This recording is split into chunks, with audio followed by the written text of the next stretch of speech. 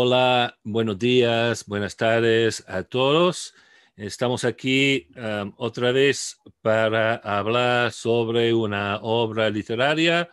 Uh, hoy estamos hablando de Mujer Negra, poema escrito por Nancy Morejón, poetisa cubana, y tenemos el gran honor, privilegio de tener a mi colega uh, Arturo Victoriano, quien eh, va a conversar conmigo sobre este poema. Bueno, Arturo, eh, muchas gracias, em, por tu generosidad, em, por estar aquí.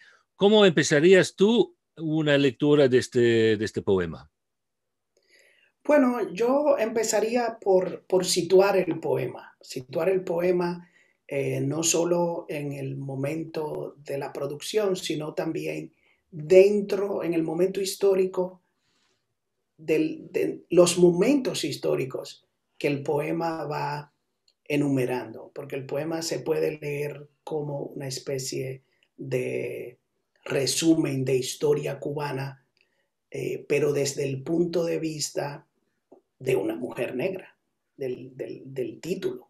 Y, y, bueno, también, aunque no siempre le decimos a los estudiantes que no hay que identificar el poeta con la voz poética o con el poema, Nancy Morejón es una mujer negra. Entonces aquí se da esa confluencia. Entonces yo creo que, que desde el punto de vista histórico, desde el punto de vista de la raza, del, género y, de la mitología también, porque hay, hay, hay, uno, hay, como un aliento, digamos, eh, mítico, pero mítico histórico, explicar los, los, grandes hitos de la historia cubana. E, eso que, eso que dices, eso que dices sobre la mujer negra, claro que hay, y, que no hay que identificar demasiado rápido al, al, autor con, con, eh, el, yo, el yo poético, digamos, pero tenemos dos lados ahí, ¿no? Primero es la historia cubana, vista, narrada por una mujer negra, pero luego tenemos una figura casi mítica de, la mujer negra como una figura transhistórica que siempre está ahí desde el principio de, la historia del país. Exacto. Y, me recuerda, siempre que tengo la oportunidad de enseñar este poema, me recuerda eh, una película cubana, creo que es de Humberto Solás. Lucía, creo que se Ajá, sí, sí, sí. Que son, son, son varias, varias mujeres en varios momentos eh, históricos. En este poema es, lo mismo, pero hay, hay un intento de cambiar el, foco. El poema empieza, todavía huelo la espuma del mar que me hicieron atravesar. Entonces, em, empieza con una oración, con un verso en el presente, pero el mar que atraviesa no es el el que atraviesa el mar, la que atraviesa el mar no es el conquistador español. Eh, bueno, en el Caribe, al Caribe llegamos, llegamos en barcos. Eh, dice un amigo mío que, bueno, los abuelos míos llegaron en el mismo barco, uno en la, en la en la superficie y el otro en el, en el, sótano del barco. Entonces, eh, aquí no es el conquistador que llega, es la esclava, pero el presente. O sea que sí, claro, es, una reescritura ¿no? de la historia desde otra perspectiva, la perspectiva del esclavo y más aún de la esclava. Me interesa los verbos, los verbos en este, poema son muy interesantes en distintas, por distintas razones. Primero, la diferencia entre me hicieron, en que eh, la mujer negra es, ah, en términos gramaticales, el, objeto, me hicieron, y mientras que eh, eh, están estos verbos, me rebelé, anduve, me sublevé, en lo cual es, es la mujer el sujeto de la acción del sujeto de la acción histórica desde el momento que pisa el suelo cubano. No hay ningún momento en el cual la mujer negra en este poema no sea eh, sujeto. Me rebelé, bordé la casaca de su merced y un hijo macho le parí. Mi hijo no tuvo nombre, anduve. Esta es la tierra donde decí, bocabajos y azotes. Ese es un verso que generalmente cuando, cuando yo lo enseño a los estudiantes, eh, le, lo combina a pararse porque no es un, no es un término usual, bocabajos. Entonces, eh, es, es, es, interesante eh, desde el punto de vista formal, como ella lo hace. Esta es la tierra donde padecí bocabajos y azotes. Azotes, todo el mundo lo entiende. Los bocabajos es muy específico. Es una técnica de, de castigo, de poner a los esclavos en un cepo boca abajo para recibir los azotes. A veces solo lo dejaban boca abajo. Entonces, en una sola línea, la violencia de la esclavitud. Luego del rebelarse, ¿eh? me rebelé, anduve, padecí, boca abajo y azote. Sembré, recolecté, las cosechas no comí. Y es todo el sistema de la economía esclavista. Y otra vez es una reescritura de la historia, pensando, por ejemplo, en la importancia que tiene el ingenio. Eh, el título de uno de los libros cubanos más importantes de, historia, la importancia del ingenio y de las propias cosechas de los esclavos, los, pequeños eh, minifundios. Y cómo la mujer negra siempre trabaja. Es una mujer que siempre trabaja. Eh, sembré, recolecté, por casa tuve un barrancón, yo misma traje tierras, en esta tierra toqué la sangre húmeda, me sublevé. Nunca me imaginé el camino a Guinea. No vuelve. Eh, este, aquí, aquí no hay un... Esta voz poética no tiene ese, ¿cómo diríamos? Ese anhelo de, regresar eh, a África. Aquí no. Eh, yo nunca imaginé el camino a Guinea.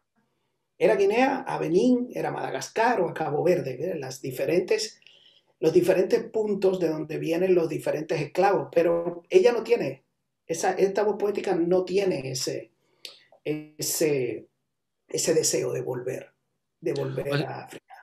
O sea que es, es, es, un, es un poema sobre la historia, pero sin nostalgia, ¿no?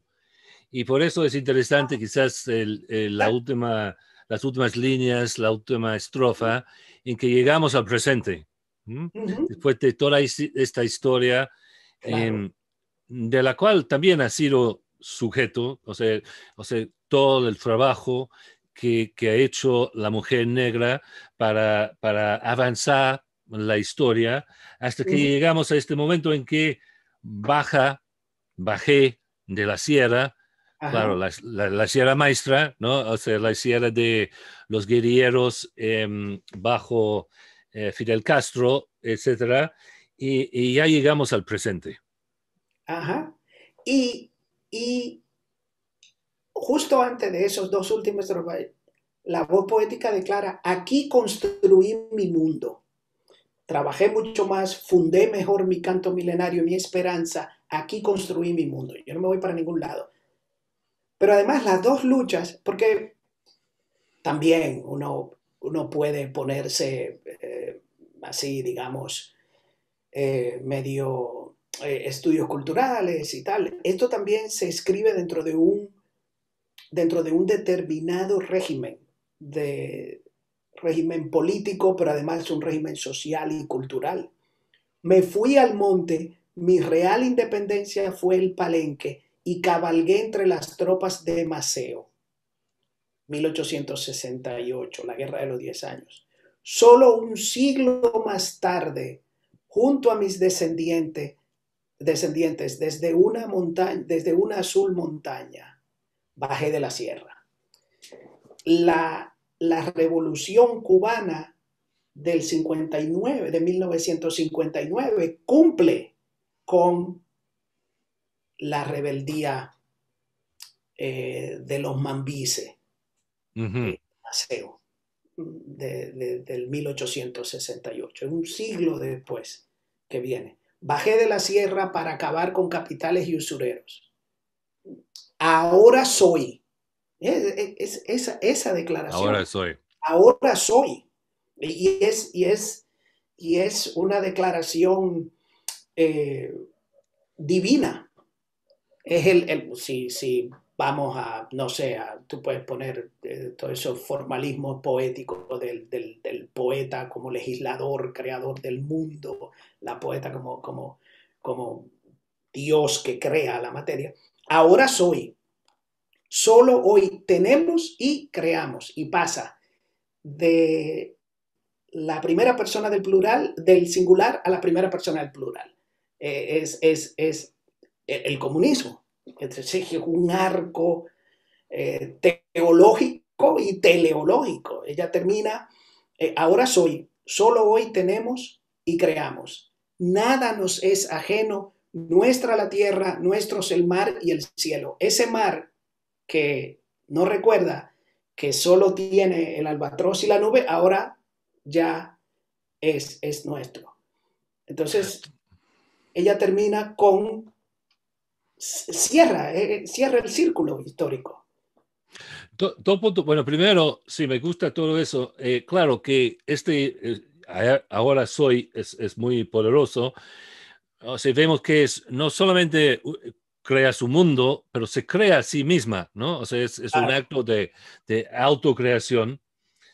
Y, y, segundo, bueno, sí, al final em, nos parece, nos puede parecer como un himno al, comunismo, pero no sé si ves dentro del poema también quizás una crítica posible hacia el régimen eh, comunista, el régimen post-revolucionario? sí, yo creo que ella hace eh, una crítica a la situación de los negros y las negras dentro de la revolución, sin es, es eh, ese, digamos, disentimiento interior eh, que tú lo ves en, en, otros creadores cubanos.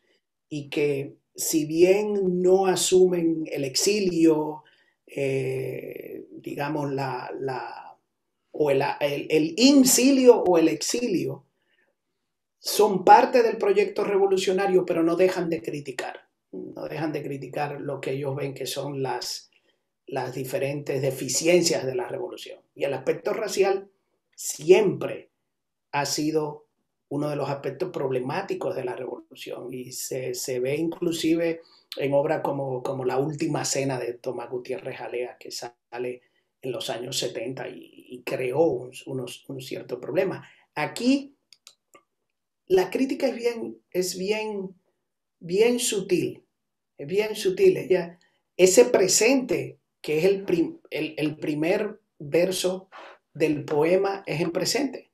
Todavía vuelo la espuma del mar que me hicieron atravesar. La revolución no quita la memoria de la esclavitud. La revolución no la quita. El comunismo, igual es mío, aquí los veo bailar alrededor del árbol que plantamos para el comunismo. Su pródiga manera, madera ya resuena. No es, ya resolvimos los problemas, es apenas empezamos. Eh, porque eh, también se puede ver el poema de esa manera. El poema termina, bajé de la sierra, plantamos el árbol para el comunismo, pero tú plantaste un árbol, te faltan años para que ese árbol crezca y dé frutos. o sea que terminamos con eh, la primera persona plural, nosotros como Mati, nuestra América, nuestra la tierra, nuestro Selma, pero la identidad, la mujer negra mantiene su propia identidad, su propia memoria, porque sí, los rasgos de la esclavitud no se desaparecen.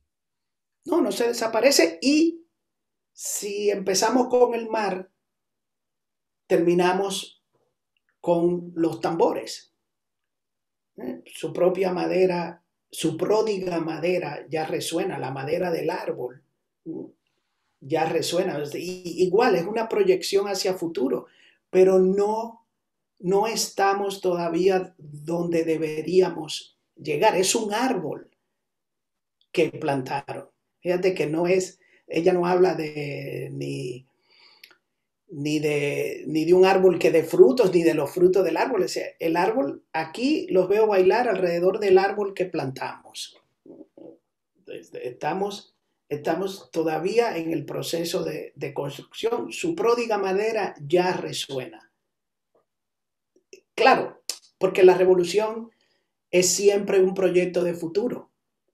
O sea que eh, este es, este es un, poema sobre la historia, pero orientado hacia el porvenir. Exacto. Eh, eh, sí, eso, eso me gusta, eso me gusta. Es, la historia siempre moviéndose eh, ese, ese ángel de la historia, ¿verdad? Que, que, se, mueve hacia, hacia, el futuro, pero eh, tiene la vista hacia atrás.